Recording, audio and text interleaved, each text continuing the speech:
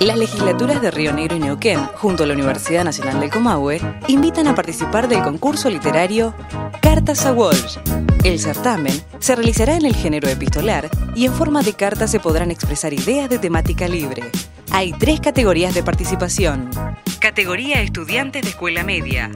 Pueden participar estudiantes secundarios de establecimientos escolares públicos de Río Negro y Neuquén. Categoría Estudiantes Universitarios dirigida a estudiantes universitarios que cursen carreras en universidades de Río Negro y Neuquén. Categoría General Nacional. Participan escritores, periodistas y ciudadanía en general de la República Argentina. Concurso literario Cartas a Walsh. Bases, condiciones e inscripción a través del sitio web www.cartasawalsh.com. Legislatura del Pueblo de la provincia de Río Negro.